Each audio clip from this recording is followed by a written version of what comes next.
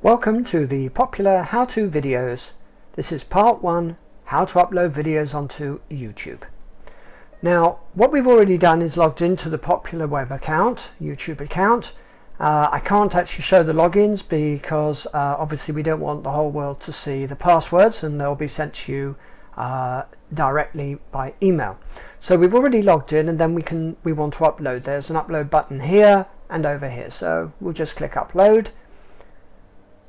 and the upload introduction page comes. There it is. And we have to select files from our computer. These are the videos we want to upload. So we click that one. We select the video we want which is this one. It's actually from another project so it won't be totally appropriate here but never mind. And we're going to open that and then up comes the uploading box. Now this is where we'll be able to see how we're uploading. But what we do need to do is put in a title. So let's put school X and then the name of the video. And we have to put its description I'm just going to copy this for now. And we can put tags in as well to help people find our video. You can see we're almost halfway already in uploading here. Then we have to select our privacy options. Now if you've already got permission from parents you can leave it as public. Otherwise it's advisable to put it as unlisted.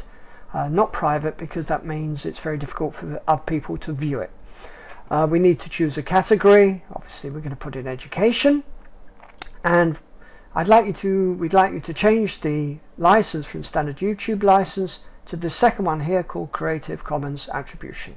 That allows, uh, means it's much more easily uh, for us to copy. Okay, we save those changes and the video is already finished uploading. That's all been saved and we can actually click on the link. It's already uh, change the video for us and here's the video ready to view. Just wait for that to come it always takes a few seconds and here's the video. Now we're going to stop that and finish this video and thank you very much for watching this first video uh, by PopuLLar in the how-to series